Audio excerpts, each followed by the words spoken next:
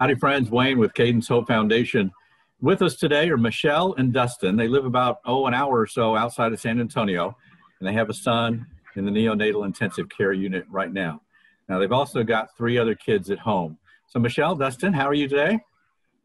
Blessed, happy, thankful. Yeah. How, how's, how's it going with having three kids at home and one in the hospital? How's that? Um, it's incredibly hard um, especially from the emotional standpoint on my end of feeling like I'm having to choose time between both worlds that need they both need me, and so we've worked on trying to create a schedule where not oftentimes are we together, but we're trying to divide and conquer. Um, but we have an incredible village of people that are working on helping us and trying to give us a little bit of grace so that we can be present as best we can with each of our worlds until they can be all together again. Yeah, a lot of people don't realize how many people it takes to support a family that has a baby in the neonatal intensive care unit. Uh, I mean, I don't know your situation personally, but you know, it's grandparents stepping up who coming to live at the house while, while you're in out of town. You two going, one being in at home and one being at the hospital when you can't be there at the same time. There's a, a lot of issues that people just don't think about. And I always say that in the in the neonatal neonatal world, you either get it or you don't get it. And it sounds to me like you get it. One of the things I wanted to talk about today, um, Caidens Hope over the past 10 years has advocated for the parents advocating for the baby uh, many, many times. Uh, Caiden's grandmother, Terry, uh, has been on Caidens Hope quite a lot over the past several years, and she's also always tried to drill home the fact that you need to speak up. If you don't understand, if you don't think the doctor or the nurses are doing the right thing, whether you're right or wrong or they're right or wrong, you need to say something about it. And I saw an email that you all posted, and uh, tell me a little bit about why you posted this email advocating for uh, uh, for the parents. um, so, so COVID has made a lot of changes, and from what we understood, sure. um, there was a lot of of good in the NICU world provided to parents and things like that prior to COVID, and then a lot of things stopped. And the biggest thing was that parents were only allowed one parent in to visit at a time, and um, we are a team our, our since we started dating, we became a team, and then through th- three kids, now four, um, we're always there to advocate for each other and to be present. When one person can listen, the other person is also there to listen to help pick up any things that were missed. And then um, it sometimes it's hard for one person, especially a mother in this world, to speak up about things because we're so emotionally invested and we're scared and we're nervous and our emotions override a lot of um, clear oh, yeah. thoughts.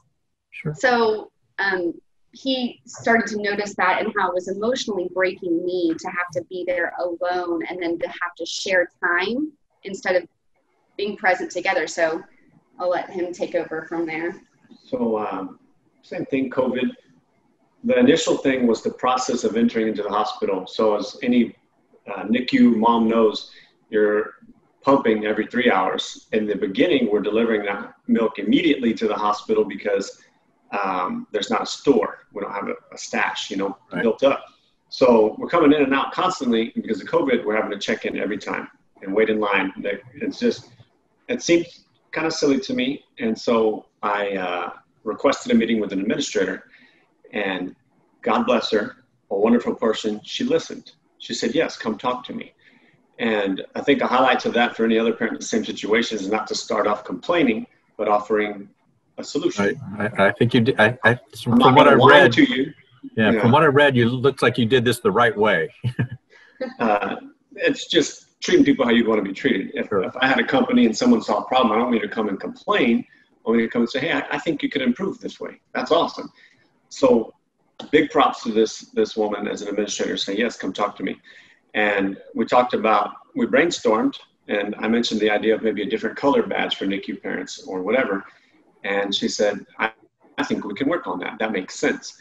And she said, anything else? I was like, well, if you're being generous with, with uh, your time, yes, I said the idea of I can be present with my baby, she can be present with our baby, but we can't be there together. And I explained, you know, that we're a team, the same type of thing. And I said, I cannot see the logic in that. I don't see it posing an additional risk. Uh, we're screened when we come in the front door. We're screened again before we go in the NICU. We're also very aware, as any parent in the NICU is, we're going to wash hands extra. We're going to do the mask extra, even if we were potentially lax before. It's a big deal. This is an at risk human that we're trying to care for. And I said, Can we work on that? And she's like, Well, you know, let, let me talk to my boss. And then we talked about it. And so I sent a follow up email.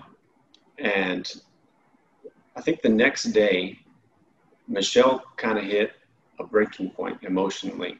And it was like, I got to be there for his first bath, but she did not.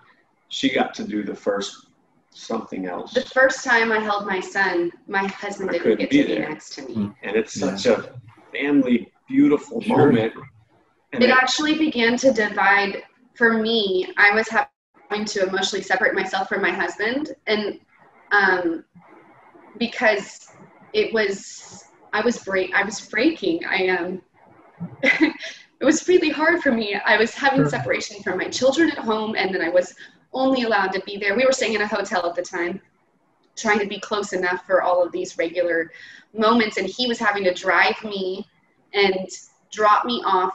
And it was the nurses and doctors were throwing all this information at me. And I was tired and emotionally broken. And so he watched me have a meltdown.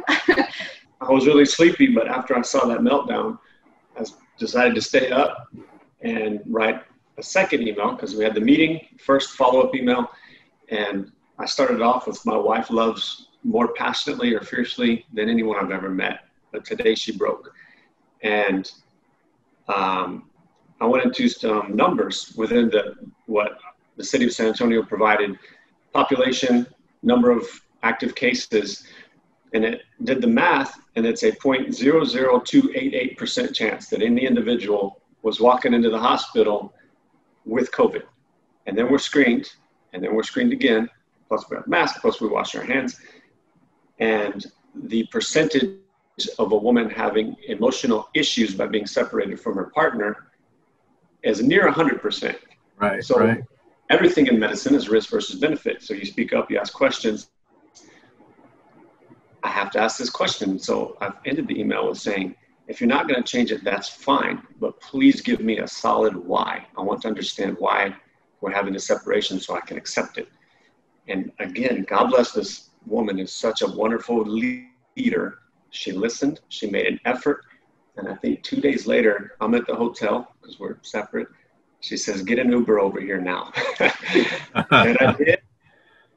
We cried together. We got to share a moment together with our son, first time since he was born and that was awesome. And ever since then, smiles. We saw other parents smiling. We we were able to kind of talk in the hallway. The staff here, not just the nurses, but every bit of the staff that we happen to ask, were like, "Oh, we love this change. It's so good, so good for the parents, for the babies, for the happiness in general." And we're like, "This is great. We should share this. Maybe other people are having a similar issue." And that's the post that you saw. But when I read your email, it's like this says it just the right way and that's why as soon as i as soon as i got done reading i sent you the message to see if we could record this um, how are the kids at home handling this? that was a part of my breaking point um, so my um, my 18 month old she just misses daddy immensely sure, sure. Um, and then my five year old she grew up like overnight which was hard to see um, It's okay. Yeah. Um, my three-year-old, she is this. Well, she's like me, big love and um, very chatty and super passionate in every direction. So she will, we say, emote big. She's either loving beyond or she is crying on the floor. so um, she started to shut down. And um, that, was our breaking point of now we have to communicate, figure out how to be in both places. She hadn't been with her parents for a week probably. Oh, like nine or ten days. I have a beautiful village, parents, grandparents, sisters. And so she was getting more, but but when you when your parents are not present and Right. there's a constant change, I think it's really hard. And and then from what I understand, the NICU used to provide an opportunity for the the, the siblings to learn what's happening with their with their brother. Um, but because of COVID, none of that's available. So now we were trying to find a way to help as best I mean as best we can. We're trying to teach them what's happening and why. I've had the question my my three year old asked me walking from school, and she said, "I said I have to go, you know, take care of Stokes today," and she said, "But." But mommy, why can't you stay in? I said, well, Stokes needs mommy and daddy to help him too. And she said, well, why can't the doctors just be like a mommy or a daddy? So I had to explain to her that doctors are great, but they don't love and cuddle like a mommy and daddy can because they have to take care of so many other babies. Yeah.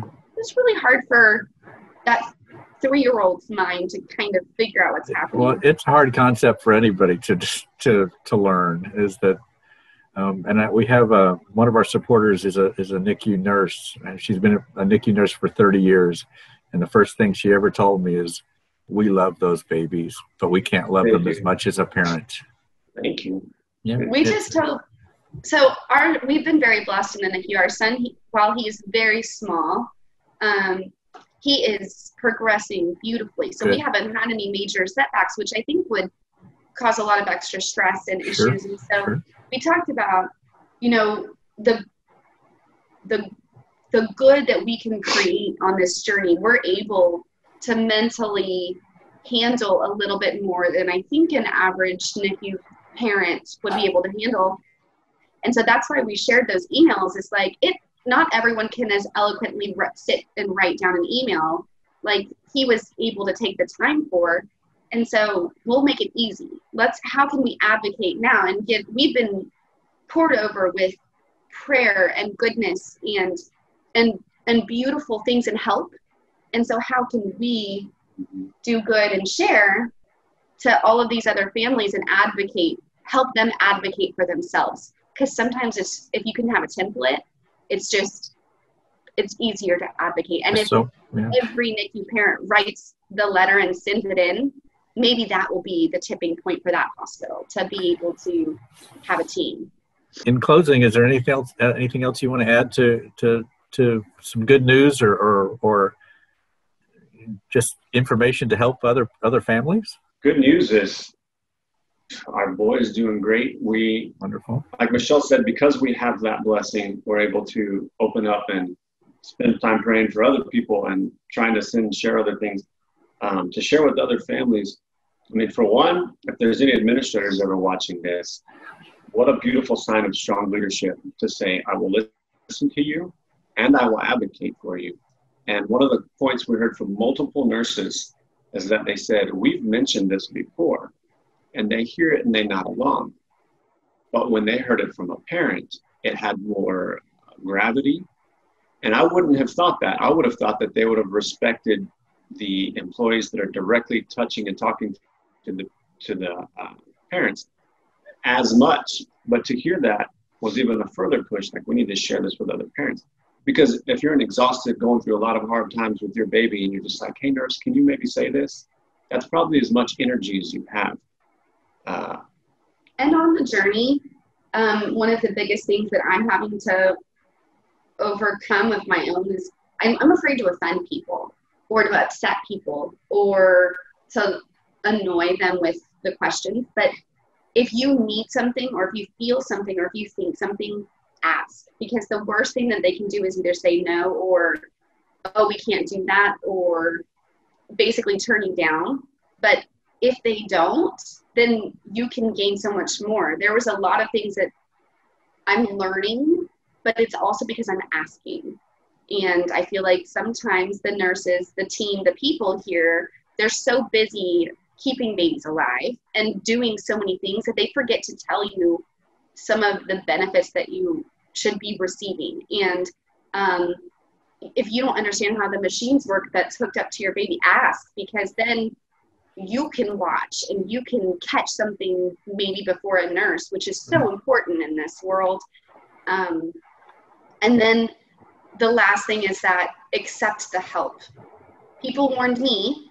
I got these emails saying everyone, these people want to help us. These people want to do good for you. Um, it's really hard to humble yourself and say that you need help because we're strong and we're mothers and, and fathers and we can take care of ourselves. We can take care of our kid. But they, they kept on telling me people want to help you.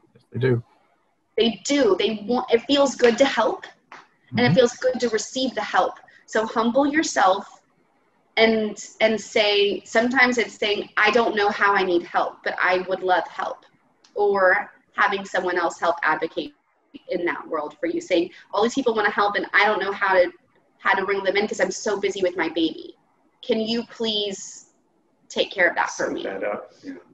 and so they they've done we've had people do that for us and it is really hard to accept it. But then it feels good but all the way around. You just feel so blessed. You want to go and pay it forward. Mm-hmm. Um, and I don't want to close this out without mentioning that if you see a problem and you want to speak up, make sure you're do, doing it in such a way that it's respectful and well received because it's easy to, to stand on the soapbox and say, this is wrong. Okay, what's that going to do? So to take the time to say, thank you so much for everything you're doing, administrator. I noticed this and I was thinking this other thing might work. It's a very soft intro to maybe we can help each other. And I think I even used the word, can we be a team and work on this? And I mean, how can, I think it's kind of hard to say no to that, even if you're like a stick in the mud type of person. So uh, make it easy for them to say yes. Well, Michelle and Dustin, thank you so much for taking the time out of your day. We wish you and, and your whole family, but especially your son, say a prayer for him to make sure he continues to grow and, and prospers. And, and one of these days, y'all get to go home and all be together as a family. I, would stress it's it's it's wonderful to what Dustin just ended with. It you you need to advocate advocate for your child, but you need to do it in a polite, caring way. If you just start screaming, they're not going to pay any attention to you. Um, and hopefully, um, this will help other families. So thanks so much. Appreciate it. Thank you.